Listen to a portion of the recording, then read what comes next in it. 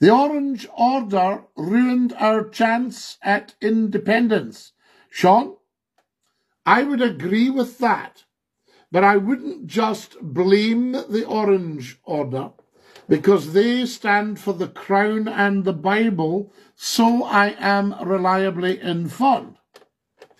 And had every Scot got a hundred percent behind the monarchy, chucked all this not my king rubbish, chucked all this booing at the national anthem rubbish, if they'd all got behind the monarchy, that would have been that little challenge ironed out.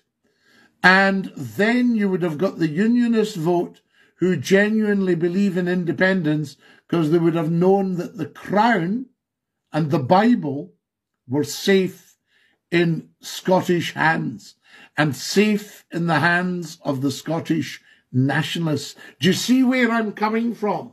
And every single halfwit comes flying back, oh, not my king, not my king. Every single not my kinger is anti-Scots and anti-independence. Have we got that?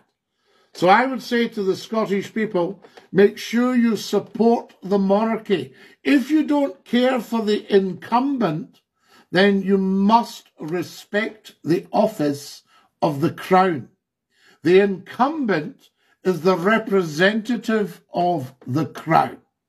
The crown as such is in the hands of the city of London, the square mile, the golden mile, the big pennies, because that's where the money is. And that's what buys and sells things. Yeah. And when you hear these are crown estates, that belongs to the crown. Yeah.